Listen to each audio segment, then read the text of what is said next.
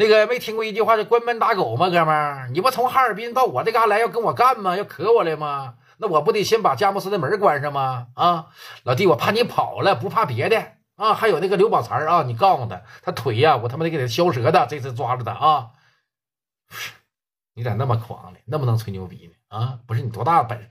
多大本事？不是老弟，你告诉我，你在佳木斯哪个酒店呢？啊，咱上酒店找你去就完了呗，你别跑了，哥们儿啊。哥们儿，我不跑。我要是跑的话，我怕的话。我王旭英还能从哈尔滨啊不远这个几百公里，我到佳木斯来跟你碰来吗？我来不就是来要钱来了吗？对不对？你就你就你就说吧啊，咋啥啥意思？你你在哪？我找你去也行，你不用找我老弟，你就说你在哪个酒店，你就不说哪个酒店。我现在查，我跟你说，就是时间的问题，肯定能找着你。哎呦我操，见过狂的啊，没见过你这么狂的。我告诉你，我就在佳木斯大酒店，你来吧啊，你来。你来，你看我王俊英是那个不？嘿，我操！行，兄弟啊，那你等我啊，我离那不远啊，我可能十五分钟就能到，你等着啊，我等着，我会会你啊，我看你多大章程。电话叭噔就撂，电话一撂，多才瞅瞅，说俊英啊，他咋说的？他他他他还钱，还钱？他没说还钱的事儿，他说啥？他说他说把什么佳木斯的门给关上了，还说怎么的啊？说说说说说说一会儿来啊！说说说抓着你把你腿打折的啊！还要他妈收拾收拾我，这逼挺狂啊啊！他到底啥实力？搁佳木斯咋的？他是天儿啊！刘宝才一听，他说把我腿打折呀！啊，是这么说的。你怕啥？你跟我在一起呢？啊，你怕啥的？我王俊英从哈尔滨来带这些兄弟白给的。刘宝才一瞅，因为宝才之前找过。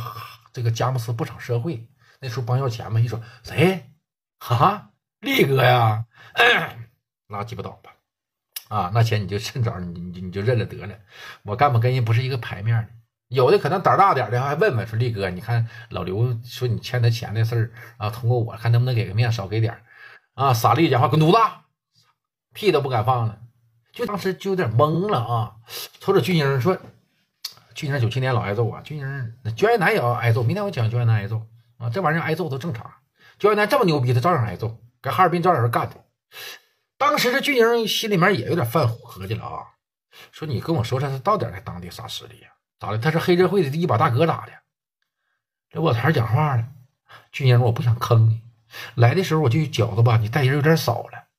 这小子在当地吧，社会好像我听我那朋友说，社会人啊管他都叫哥。啊社会人都叫哥，那咋他是社会的一把大哥呀？那我就不知道了。我不沾社会，但但但是社会都管他叫哥呀。俊英讲话都已经来了，箭在弦上，不得不上了。能鸡巴咋的？没鸡巴事儿，会会他啥意思啊？没事没事没事，我在这嘎达。这面啊，俊英就告诉兄弟们说：“你们去，家伙事都检查好啊，一会儿来了，嘚喝的，要是人差不多啊，咱就把人给他抓走。”人要来的不多，人要来的人人要来的多一点呢，咱就跟他谈谈，看他啥意思。他嘚儿喝，咱就干他。兄弟们，当时军营的兄弟其实搁哈尔滨也够用，只不过跟越南比，他他他他他没那么强。哎，军营兄弟讲没事儿，杨哥，操，那咋的？来嘚儿喝，不用抓走了。哎，大伙儿搁那舞枪弄棒的啊，搁那准备。那这面，这个张宝利啊，打完电话之后，第二个电话又拨出去了啊，就打给当时咱说了，哈是谁呢？哈是这个局长。哎，啊，我张宝利，力哥，我跟你汇报呢，准备。咱们这个出城的道口啊，全封着了。啊，就是连个苍蝇，他只要是啊哈尔滨的，他都飞不出去。啊，苍蝇咱都得给他做的核酸。啊，别他妈扯犊子。啊，都堵上了，都堵上了，你这么的，我知道他现在他在哪个酒店呢。啊，你方便不？你方便，你派点人过来，我这嘎达人手不太多，我怕他跑了，跟我一起过去，方便，我亲自去都行啊。你不用来，你就告诉小老弟打发两个队长，带点人啊。他们好像人不能太多，但也不能少了，估计三五十人啊。你也领个三五十人，我这边有个三五十人，这就够了啊。那行，因为他不知道军营领来多少人，说那行，我现在马上就派那个马队长跟这个李队长啊，电话叭登就撂了。紧接着这边这个一把局长啊，就把手下叫进来了，一个小防暴啊，可能是一个小刑警啊，说你俩去啊，那个张宝利不知道吗？啊，知道，那不力哥吗？张宝利啊，说在那个和那那哪那个那个那个这个这个佳木斯大酒店呢，说有伙社会人士到这嘎跟张宝利约架来了，把他他妈嘚儿和都给我抓回来。哎，是，哎，两个兄弟下楼就开始集合队伍了。很快，他们这帮人也往这来。那老铁，咱们再说是张宝利。张宝利把电话撂完之后啊，说去把咱们兄弟啊啊，这个快点的集合一下子，然后呢，咱们往这个佳木斯大酒店去。看看鸡巴这小子来多少人，啥意思？兄弟没瞅，你放心吧，力哥，到咱们佳木斯装逼，不管他是谁啊，必须得他妈受着。很快，人家张宝利的兄弟就开始集合人。他集合人的时候都没超过十分钟，在楼下就聚集了四五十人啊，四五十人啊，人不算多，聚集四五十人。那聚集了四五十人，六扇门那边紧急出动也出动了四五十人。那两个队伍如果合到一起，那就是一百来人了。巨宁他们来多些，刚进来十多个人，不到二十，十几八个。巨宁大哥不知道自己呀，要他妈倒霉了啊！佳木斯啊，卢明是大哥，那个说了，王斌是大哥啊。那个还有人说那姚红庆也行，佳木斯大哥也多，哥们儿啊，咱们没说他就是一把大哥，听明白了吧？但是这个张宝利在佳木斯上绝对能排进前几名的啊。因为咱们毕竟啊不是当地人，对当地很多隐藏的大哥咱还不了解。但得说张宝利、像姚洪庆这类的人，在当地都是大哥，明白吧？他他都属于这个一线大哥啊。但是这个一线跟一线之间的区别呢，就在于你侵不侵犯人利益，懂不懂？哎，你说那个大哥吧，就像王斌，我也听过啊。但你说这个那什么谁，我不知道。他们都是大哥，嗯。那话不多说，人家这个张宝利当时也是老炮儿混社会八十年代就开始玩啊。老弟，很快人家张宝利就组织了，当时得有五十多人，啪啪啪上了车了之后啊，车就瞬间就能有个十来个车吧，就往这当时酒店那边来。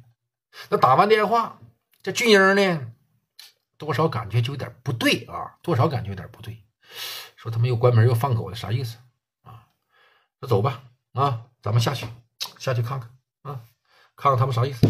这不吗？很快。领着当时张这个这个王俊英领着兄弟，还有当时的这个哎刘宝才，他就下楼了，十七八个人嘛。这时候天也黑了啊，下楼吧，到楼下，因为这个佳木斯大酒店它是个独门独院，它的院里面能停不少车，挺宽敞的。就是姚红庆住的那个酒店，知道不？大这个酒店是谁开的？知道不？听过前面故事的都知道，哈尔滨的大哥康康大年开的，康荣年的老家嘛。然后康荣年开完了，那期咱也讲过了。后来鸡巴让让他二哥滚犊子，让他二姐来的。但后来啊，后来最后他二姐干了能有半年，又还是他二哥来的。这个事还是他的一个亲戚家那二哥，就跟姚红庆处的不错的。姚红庆当时就常年住在七楼，给人姚红庆准备三个房间嘛，跟兄弟们啥的。但这时候姚红庆啊，他并没在家，而且他也不认识他们，也没管这事。很快他们到楼下了，到楼下就在这个院里面啊，咱说他就搁这嘎子瞅。他妈来多少人啊！这是真没怕，军营两号就来四五十人，还能鸡巴咋的？对不对？你敢杀我呀？正合计呢，就看远处啊，新来了。当时两个警车来的比较快的啊，警车到那个门口，啪这一停，嗯，这怎么还报警了呢？啊，军营瞅瞅兄弟，兄弟瞅瞅军营，但人阿 Sir 车没没没过来，进院之后车停下来了，那有个六七个阿 Sir 下车就抽烟。啊，也瞄他们一眼啊，瞅他们一眼，哎，但人人人人家没过来。这时候刘宝才一瞅，那个英哥，我我我我我我上趟楼呗。去英一瞅，刘宝才这时候就已经就害怕了啊，能看出来，这逼挺尖，老逼灯。去英讲话，害怕呀？啊，不是我，没事儿啊。害怕你就上楼，啊！害怕你就上楼。我都说我替你要这个钱了，你搁这也不起啥作用。你不行，你上楼吧，上楼上上楼上吧。哎，行。哎，刘宝才噔噔噔就上楼了。这逼没在楼下，他挺尖。这逼上楼了，这军营搁这嘎待着，紧接着呼啦的就陆续就来了四五辆车啊！因为因为人家这个张宝利的兄弟有从别地方来的，先到的啊，比他近的，咔咔的下车了。一瞅，哎呀，李爽啊！哎呀，张队长，哎，互相都认识。在下车这帮流氓子，个顶个的啊，手中拿着钢管子、天砍子，还有拿家伙事的啊，小派派的，还有这个队的，一瞅呀呀呀啊，那谁？你哥呢？力哥呢？力哥没来呀？啊，力哥，力哥没到呢。我给力哥打电话，问问力哥到哪了。这时候俊英就有点懵了，说怎么的？他们眼瞅着对面来的人是流氓的，跟这边都挺熟啊，一伙的啊。兄弟就提醒了，说英哥，好像他妈的他们是一伙的，不行，咱撤吧。啊，俊英讲话了，这他妈的。这这这这小地方这么乱吗？啊，这这这这小子这么大能耐吗？啊，这紧接着大批量的阿 Sir 啊，从那边排队，能有十来个车，打着小小那啥就过来了啊！哎，闪的小红蓝小灯。紧接着人家这边呢，啊，人家张宝利老铁啊，十来个车也到门口了，嘎嘎就进院了。他想走，他可就走不了了。张宝利车一进院，这边的阿 Sir 同时也到了，一下车啊，噼里啪啦的，人有带队的队长啊，这个姓李的也姓秦的也好，下车了，一瞅，哎呀，力哥，力哥兄弟们一瞅，力哥，力哥，哎，全这个，你都分不清谁是他兄弟，谁是这个他那啥了。不管是阿 Sir 还有他兄弟，全一同声叫啊，说力哥，力哥来了，力哥，力哥，力哥，瞬间就七八十人了，就是呼啦的这些车一下来。俊英瞅瞅，我操你妈！这这咋的？这黑白两道一起收拾我呀？这是啊？这比这这比啊！紧接着阿 Sir 人那边的啊，往往那旁边一站啊，这张宝利啊，从车上下来，张宝利叼小烟啊。张宝利讲话了啊，那个没事啊，等一会儿啊，轻易不用你们，你们在旁边休息一会儿，抽根烟啥的啊。哎，这帮人人啊，行行行啊，力哥，你办事你办事啊！人直接在门口把这个院里就围上了，院里本身有院墙的，那门口怼的水泄不通的。紧接着，张宝利一下车，身边后面跟的呼呼当当的一帮人。张宝利往前一站，没有一百也有八十啊，这两两方面人马。再瞅瞅军营，他们十来个人。张宝利往前一上，哪位是这个哈尔滨来的朋友啊？叫什么王军英啊？啊，哪个是王军英啊？来来来。往前站一步，我认识认识。王俊英，这一瞅啊，俊英的兄弟老铁啊，带的全是短家伙。这么说吧，一个人都没人把家伙往出掏。为啥？阿 Sir 来了。首先啊，第二点，一瞅就不阿 Sir 来了，掏出来跟人家那帮人的比啊，那帮人眼瞅也带家伙呢，而且人家不管。这一看就看明白了，兄弟都没把家家伙事都没往出掏，俊英就上前了。那个，你就是这个啊，张宝利啊，力哥吧？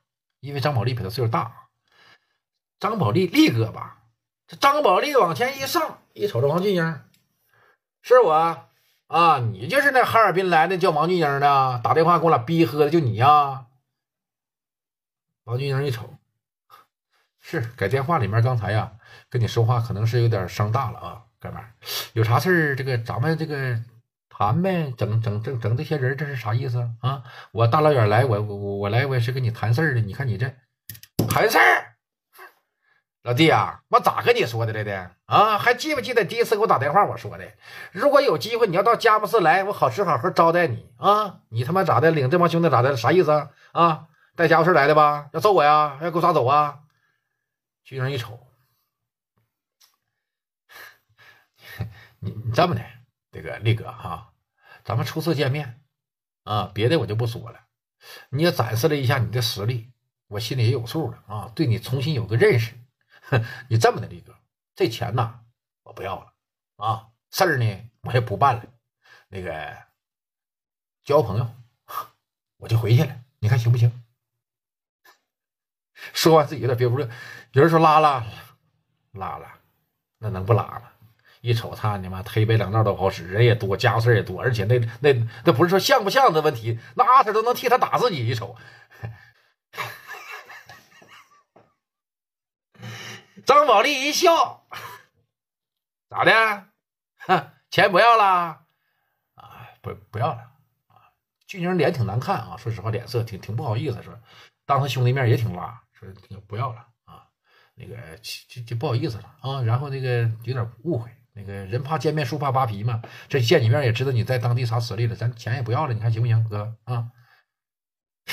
钱不要了，那老刘呢？那外贸那刘宝财呢？啊？刘宝财呢？他人呢？巨英一瞅，说刘宝才，刘宝才吓跑了。俊英还行，没把刘宝才招待出来，说他在楼上呢，没用。他刘宝才在你来之前他就走了，跑了，吓跑了啊。然后这个，嗯，他回哈尔滨了。他回哈尔滨了，他的事儿把你扔这了，兄弟啊。巨英讲话是，我寻思我留下来，我寻思跟你认识认识。咋的？钱不要了，不要了。你不要了也不行啊，兄弟！你刚才搁电话里跟我逼喝的，而且我来了这么多人啊，你也看见了，这兴师动众的，是不是啊？军人一瞅，啥意思呀？啊，力哥，我都这么说了，你还要管我要点钱咋的啊？钱不钱的，我真不差。我跟你说啊，你打听打听我张宝利，我输他妈几百万，我都没差过谁钱。但这个老刘太可恨啊！还有，我来这么多人了，兴师动众的，你不给我兄弟个交代，那也不那么回事儿啊，是不是？你这样吧，跪下啊！你不哈尔滨这会儿不挺牛逼的吗？到佳木斯来装逼了吗？你要是服了，就跪下啊！跪下，跪下，说你错了啊！我心情好，我就给你放了。你说啥？跪下！对，跪下！今天啊，别的不说，你今天你跪下说你服了，我他妈一点不难为你，你就可以走了。俊英讲话这词儿他妈这么熟悉呢？这词儿，俊英前段时间不刚那么难为过王军的小老弟吗？黄毛子，云南的兄弟，黄毛子兄弟。那在那个胡同里面，人都服了，说英哥，你是大哥，你跟我别一样的，我是小小逼崽子，你就拉倒吧，不行，跪下，皮鞋给我舔干净，一样一样的这不万事有轮回吗？赵三行，赵三身边要是兄弟不多，赵三能跪下？赵三回头还得说，红五啊，操你妈的，你们谁也别他妈传出去啊！你三哥，我今天我跟你说，我我今天我给他个面子，但你记住，你三哥必须把面子找回来，我让他加倍那啥啊！三哥能能干出这事儿啊！但是俊英大哥。社会人，这个面子有时候比钱、比生命都重要。本身俊英就服了，但是你这么羞辱俊英啊！俊英在兄弟面前咋立足啊？俊英回头瞅一眼他兄弟，他兄弟没人动手啊！此时谁也不傻逼。哎，这俊英往前一上，那个力哥，我叫你声哥，咱们远日无冤，近日无仇的，我都已经服了。你让我跪下，羞辱我！男子汉大丈夫，士可杀不可辱啊！我真跪下来，你还能得着啥？我跪下，你能得着啥好处？你说是不是？你得不着啥好处，对不？不行，你那么的，不行，我给你拿俩钱行吗？安排大伙吃点饭行吗？你给我个面子，交个朋友啊！我王俊英就当欠你个人情。有机会，你有机会，你到哈尔滨啊！你真要是办点啥事儿，或者说你那天打电话你也说了，你说哈尔滨有朋友，如果你有朋友，你打听打听，我王俊英在哈尔滨绝对不是咖了啊！有事儿的话，你吱声，就算我俊英欠你个人情，你真有机会到这个哈尔滨，你办事儿遇着难事了，我俊英我投拱地，我给你办啊！你看行不行？咱交个朋友，你没必要难为我，让我跪下。我跪下以后我咋混了？我宁可让你打死，不能让你，我也不能给你跪下，是不是？你说是不是，力哥？这傻栗子瞅瞅王俊英，他奶奶个腿的，还挺有鸡巴骨气的啊！为了这点颜面啊，还搁这硬拉硬扛是吧？啊！学生讲话不是贵不贵的，肯定是不能贵了。你你别的你你就啥条件，咱们再谈。那你要我跪下，那我肯定不能跪啊，李哥。你你看交个朋友得了，让我走得了，行不？钱我也不要了，还不行吗？操！我现在我都他妈懒得收拾你啊！那谁呀？老李啊？哎，阿 Sir 啊，李队长一瞅啊，李哥，给他们先都都带走，有破吗？给他们带走，先扔你们那儿去。一会儿我回去换身衣服，我上你那里去，这么削他去啊！老李一听，哎，力哥，咋的？巨人讲话咋的？